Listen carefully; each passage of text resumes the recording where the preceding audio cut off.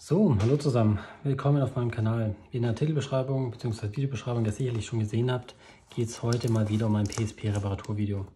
Ein Zuschauer hat mir eine PSP geschickt mit dem Problem, dass verschiedene Tasten nicht mehr funktionieren. Er hatte sich schon mal an mich gewendet mit einem Problem eines Konnektors am Mainboard und hat sich dann entschieden, ein chinesisches Austausch-Display, äh, Mainboard, sorry, zu kaufen und hat das verbaut.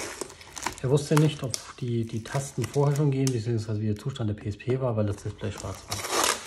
Jetzt funktioniert die PSP, aber die Tasten funktionieren nicht.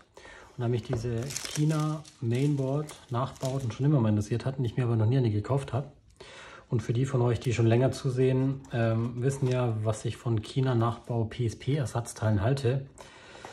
Habe ich mir gedacht, schick's mir mal rüber. Ich schaue es mir mal an. Ich schaue mir gerne mal das ähm, Mainboard mit an. Schaue mir an, wie das Mainboard aufgebaut ist im Vergleich zu dem Original Mainboard. Und versuche gleich nebenbei noch die Tasten zu reparieren, beziehungsweise die, die Fehler, die drin sind, zu reparieren. Also, wir haben hier eine PSP 1000. Unschwer zu erkennen, zwei Logos und die Lautsprecher sind unten. PSP 1000. So könnt ihr es immer sofort erkennen. Zustand der PSP ist okay, würde ich sagen. Man hat hier, gehen wir noch ein bisschen näher ran, dass ihr auch was seht. Man hat hier schon, also ich sehe sofort, dass sie schon mal offen war, weil man hier einen Spalt hat, der normalerweise nicht da ist. Das heißt, es ist nicht ganz drauf.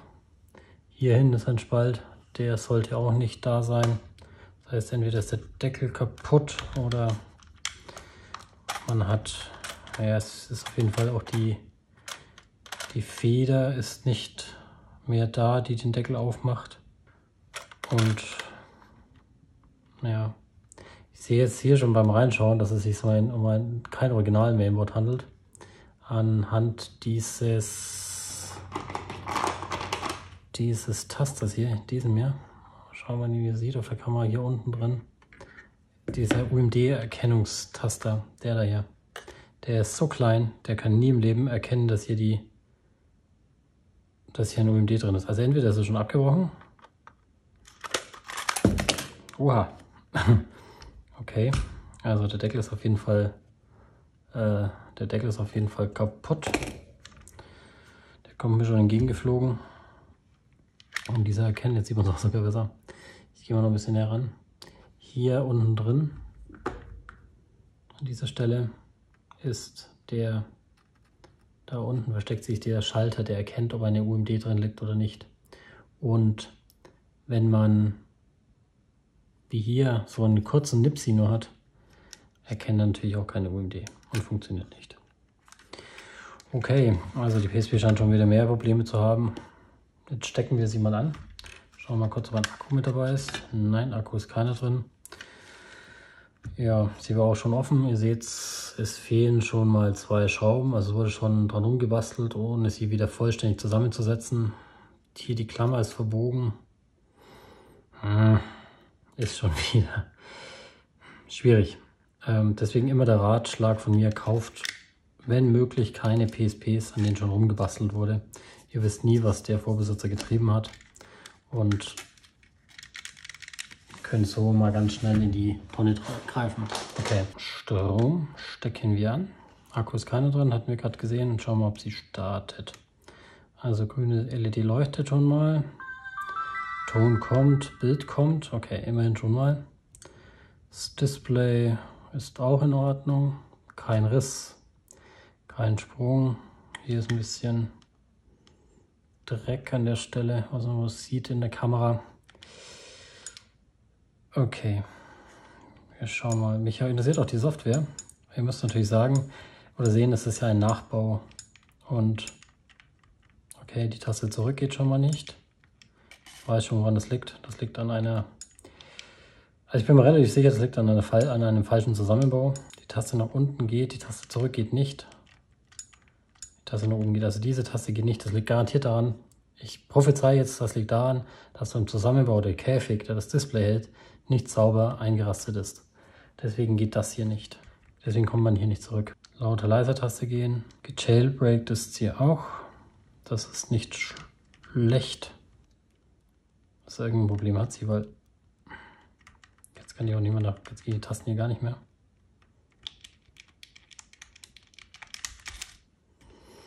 Okay, jetzt ist sie anscheinend abgestürzt. Jetzt geht nämlich gar nichts mehr. Na gut, mir hier fehlt auch eine Schraube, sehe ich gerade vom UMD Drive. Also, mal als Tipp.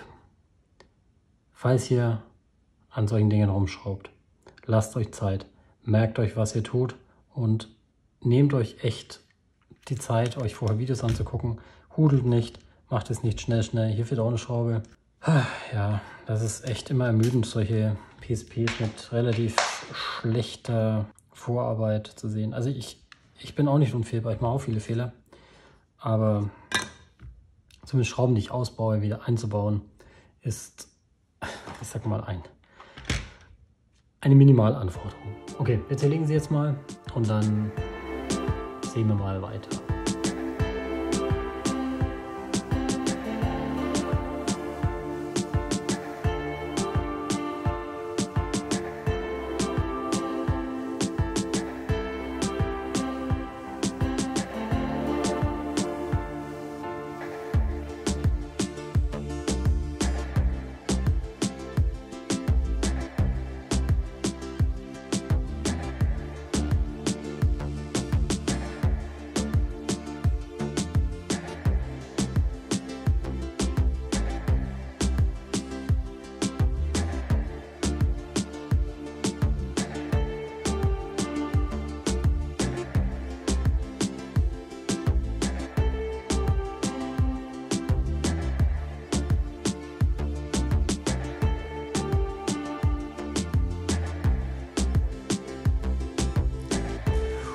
Huha, okay. Ähm, also, alle Anfang schwer, ohne jetzt irgendwie zu viel schimpfen zu wollen, aber hier wurde beim Zusammenbau wieder einiges falsch gemacht.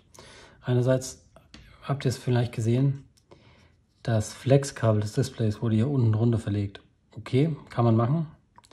Prinzipiell aber schlecht, weil es dadurch gequetscht wird. Also, das Flexkabel kommt immer über den Käfig bei der PSP 1000. So. Auch hier der, der Balken ist schon ziemlich ausgelutscht. Hm.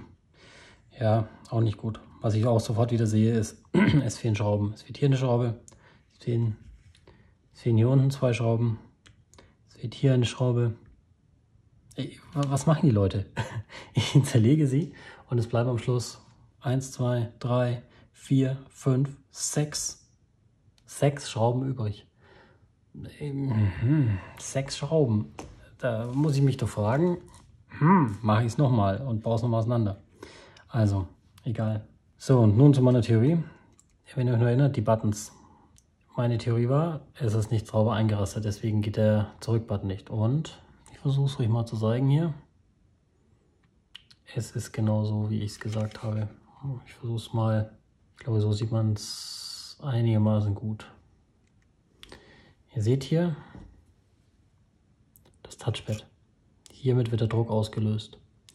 Und diese Vertiefungen hier, das hier, hier, diese glaube ich, bin mir gar nicht sicher, und diese hier, die rasten eigentlich hier in das Kunststoff ein.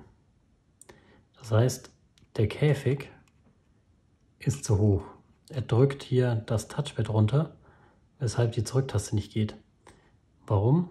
Weil obendrauf, obendrauf, das hier liegt und das hat nur einen gewissen Weg. Das fährt nur einen gewissen Weg. Da die Taste jetzt nach unten gedrückt wird, reicht der Weg nicht aus, um den Druckpunkt des Schalters auszulösen.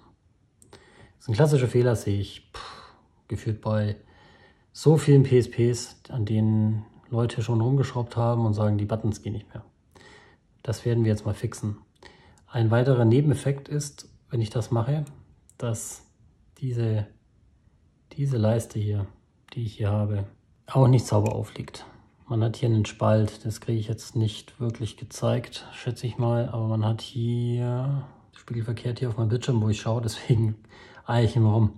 Ähm, hier ist ein Spalt. Hier ist dieser, dieser Riegel, der den Kontakt des Joysticks mit dem Mainboard macht. der Spalt, der hier auftritt, der entsteht auch, weil hier der Käfig zu weit oben ist. Das heißt, der Joystick hat vielleicht im Worst Case auch keinen sauberen Kontakt. Das heißt, das Problem entsteht durch den Käfig. Das Problem, falls es eins gab, haben wir nicht getestet, steht relativ sicher auch durch den Käfig. Und was sehe ich noch? Thema Kabelmanagement werden wir gleich sehen.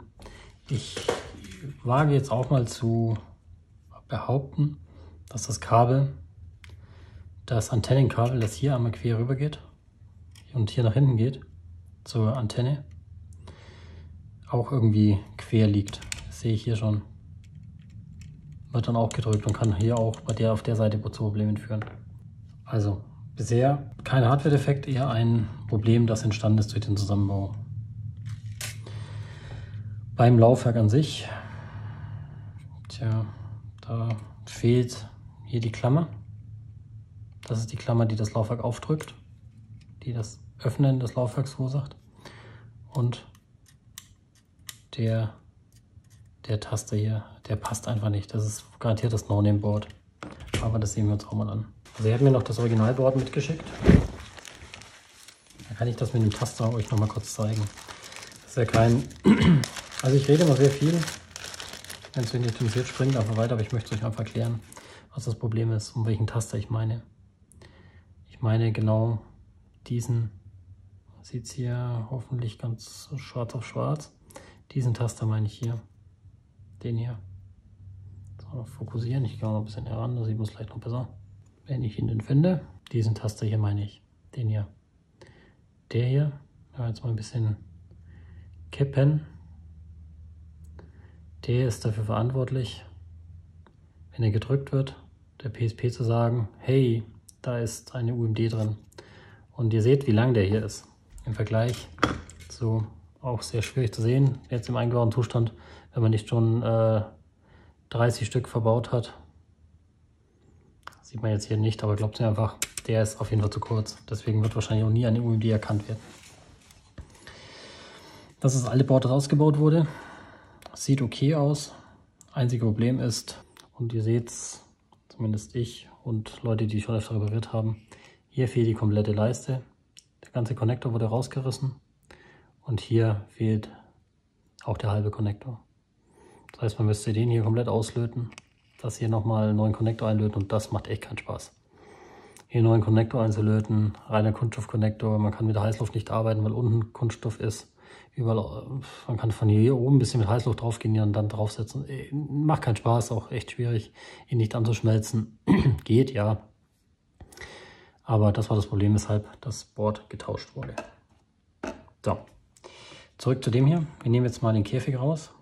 Schauen wir nochmal auf das Board oben drauf. Da mache ich mal noch einen Vergleich. China-Board zu Original-Board. Ob man vielleicht irgendwelche offensichtlichen Sachen sieht, ohne zu tief einsteigen zu wollen. Und dann schauen wir, dass wir das wieder repariert bekommen, sodass einigermaßen funktioniert. Einigermaßen. Mal schauen, ob das UMD-Drive funktioniert oder nicht. Aber das Ding wird hier nicht funktionieren, bin mir sicher. So, sorry, vergessen aufzunehmen. Ähm, ich habe den Käfig rausgenommen und ich habe, was ihr auch nicht gesehen habt, dieses Teil hier drin gefunden. Äh, ein blauer, abgebrochener Deckelhalter. Ich schätze mal, den hat versucht, irgendjemand versucht hier dran zu kleben. Warum auch immer man einen blauen genommen hat. Push über Push. Nächster Push, den ich sehe, sorry für den Besitzer, aber das Kabel hier, was ich schon angekündigt hatte, das Antennenkabel, das eigentlich hier, hier läuft, hier oben drüber läuft, das verschwindet hier, hier unten Richtung UMD-Drive. Hm. Ist eher ungünstig, weil der Schlitten hier, der so im Drive ja bewegen soll, bewegt sich ja nach links und rechts. Und was halt einfach mal dann ganz easy passieren kann, wenn das Kabel hier drin liegt. Es klemmt, es blockiert, was auch immer. Also das Ding gehört nicht da hinten rein, sondern das gehört hier nach oben. Also nochmal, wenn ihr was zerlegt, lasst euch Zeit, merkt euch das, macht euch Bilder. Nehmt vielleicht gleich ein Video parallel mit auf, legt euer Handy irgendwo hin und nehmt es euch auf, was ihr macht. Weil so sollte es nicht sein. Okay, ich nehme jetzt mal noch den hier raus. Dann nehme ich mal das ganze Board raus. Dann schauen wir uns die beiden Boards mal kurz an.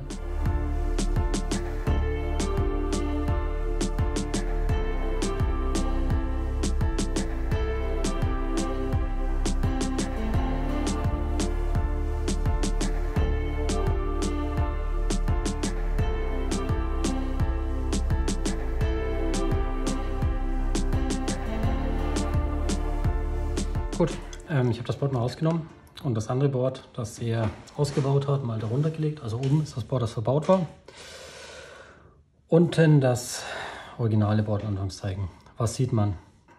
Stellt jetzt mal die Behauptung auf, dass es zwei originale PSP-Boards sind. Ich sehe weder von den Komponenten, die verbaut sind, von den Beschriftungen, von den Kondensatoren, von den Coils, eigentlich keinen Unterschied. Also wenn, dann müsste es echt eine perfekte Fälschung sein und ein perfekter Nachbau sein. Was man sieht ist, hier ist ein Coil, hier ist ein Coil schon defekt. Also ich denke, also entweder hat er es beim Verbau kaputt gemacht, glaube ich nicht. Also meine Theorie ist eher, ihr seht es, hier und hier ist auch gebrochen. Sieht auch ein bisschen geschmolzen aus, schwierig zu sagen. Müssen wir im Mikroskop anschauen, aber ich glaube, das lohnt sich nicht. Was man jetzt aussieht, der Schalter hier ist auch eindeutig abgebrochen. Man sieht hier oben eine, eine Bruchkante. Könnte man mit dem Mikroskop jetzt auch nochmal hundertprozentig verifizieren. Sieht man aber, hier ist der UMD-Schalter abgebrochen. Ansonsten sind die Boards eigentlich sehr gleich.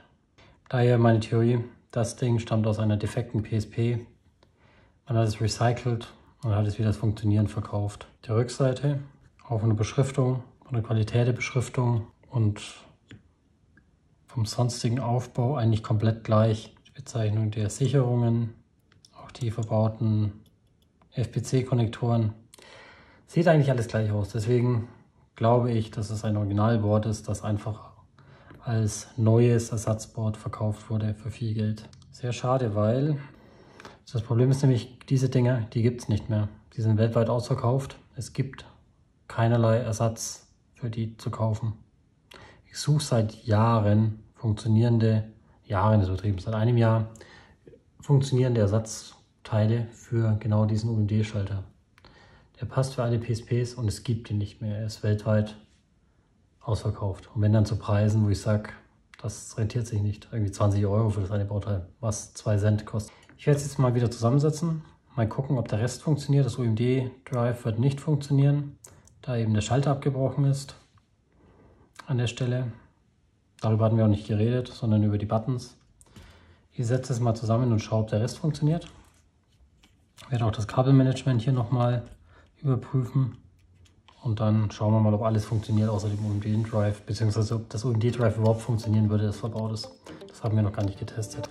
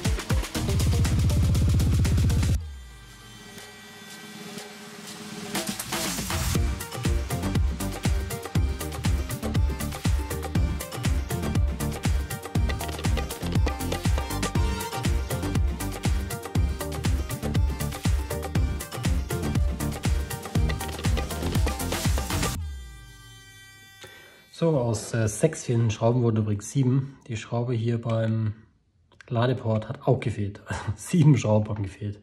So, da ich auch selbst nach so vielen PSPs nie weiß, welche Schraube wohin gehört, habe ich mir einen Schraubenguide erstellt, bei dem genau markiert ist, welche Schraube wie aussieht und wohin gehört. Wenn ihr es dir interessiert, schaut mal auf meine Patreon-Seite, da ist der verlinkt, da könnt ihr euch den besorgen. Da ist genau abgebildet, welche Schraube, welche Größe wohin gehört. Dann habe ich hier meine Schrauben sortiert, meine Ersatzteilschrauben sortiert und kann dann die richtige Schraube wieder dahin stecken, wo sie hingehört. Und kann die PSP dann so wieder zusammensetzen. Also achtet bitte wirklich darauf, dass ihr die richtigen Schrauben ins richtige Loch schraubt, weil sonst macht ihr sie kaputt oder es hält nicht oder es wackelt oder es hat einfach nicht mehr die, die Qualität, die sie haben sollte. Genau, so, also ersetzen wir mal die fehlenden Schrauben, also wieder alles an Ort und Stelle ist. Was ich euch auch noch zeigen wollte, ist, wie das der schwarze Port hier gehört. Ich hatte es mal im Zusammenbau gezeigt. Jetzt seht ihr, wenn ihr euch das nochmal daran erinnert, wie es vorher war, das schwarze ist hier in diesen Aussparungen drin. Das heißt, das Ding hier ist jetzt deutlich höher und so wird der Druckpunkt relativ sicher auch funktionieren. Okay, ich baue sie mal zusammen und dann schauen wir weiter.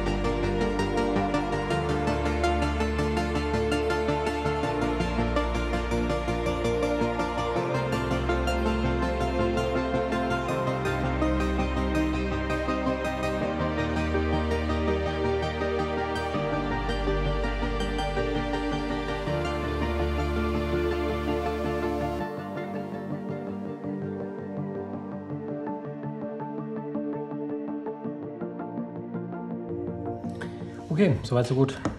Alle Schrauben bis auf eine sind wieder drin. Warum eine nicht? Das liegt einfach daran, dass eine falsche Schraube reingeschraubt wurde und das Gewinde einfach komplett kaputt war und die Schraube nicht gehalten hat. Man hat eine viel zu große und viel zu lange Schraube reingeschraubt. Ähm, deswegen habe ich die rausgelassen an der Stelle, um nicht noch mehr zu beschädigen. Den Deckel habe ich jetzt mal gelassen. Er hält auch so. Das UMD Drive ist ja eh defekt und funktioniert nicht. Von daher ist das jetzt erstmal kein Problem. Es hält, die Klappe hält. Man kann dann die Spiele wahrscheinlich nur von der SD-Karte spielen, aber das muss ich mal im Nachgang noch erklären. Aber das Hauptproblem waren ja die nicht funktionierenden Buttons.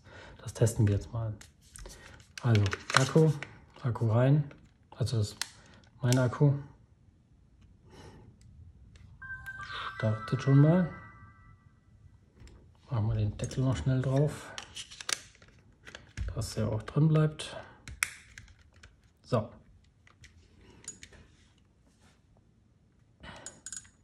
Und ihr seht, ich kann von links nach rechts, hoch, runter, ohne Probleme schalten. Also kleine Ursache, große Wirkung an dieser Stelle, aber Ich hoffe, ihr habt trotzdem was gelernt. Falls ihr den Fehler auf dieser Seite habt, ähm, schaut mal, ob ihr den, den Käfig richtig eingebaut habt. Das ist das Wichtige, dass genau dieses Modul hier an dieser Seite richtig setzt. Und vielleicht bis zum nächsten Mal mit ein bisschen mehr Erfolgen und einer mehr funktionierenden PSP. Vielen Dank fürs Zusehen. Lasst mir gerne ein Abo da, lasst mir ein Like da. Ich lese jeden Kommentar und ich freue mich über jeden Kommentar und ich freue mich über jedes Abo. Dann bis zum nächsten Mal. Ciao, ciao.